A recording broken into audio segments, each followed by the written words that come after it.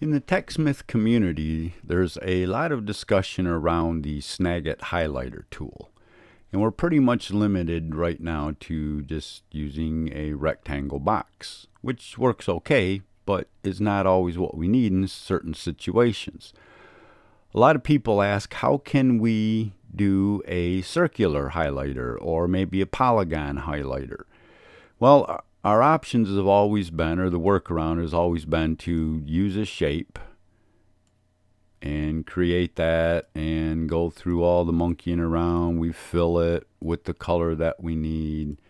I'll take the outline off here and then set the opacity and as you can see it's usually a less than desirable result. Our text is faded, the highlight color is not nice and crisp.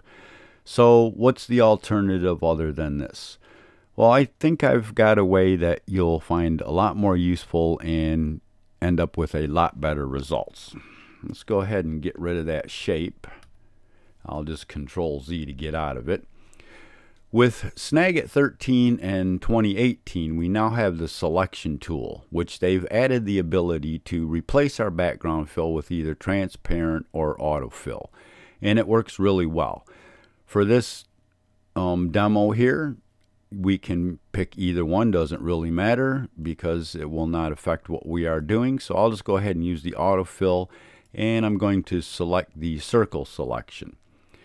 We'll draw our selection here around this text. Now, one thing to note, if your shape is not exactly where you want it, do not use the move cursor here. If you have the four arrowheads showing, don't click and try to move that because it will move the text and either replace your background with a transparent fill or autofill it to your background. You must use the grab handles here and position it how you want it to be. Okay, so make sure that you're not using the move tool in this area. That looks pretty good there. Now with that selected, what I'm going to do is go to Effects and we're going to replace the color. So I'm going to click that.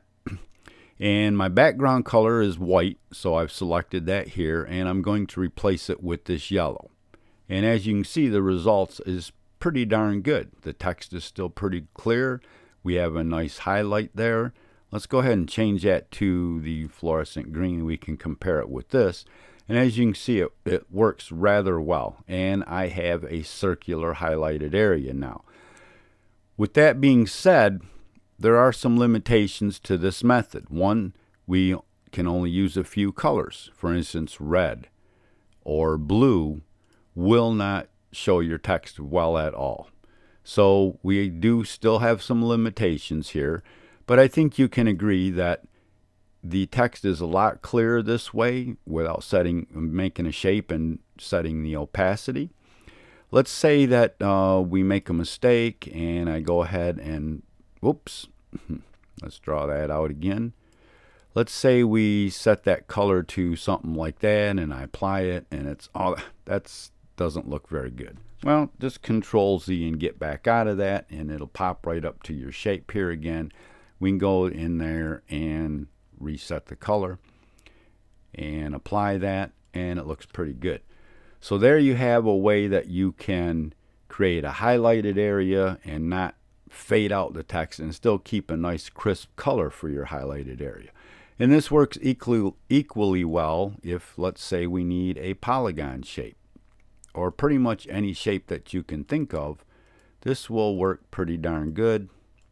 Okay, I have my area selected. I'll go to my effects, replace the color. Let's go ahead and make this one uh, a yellow and apply it.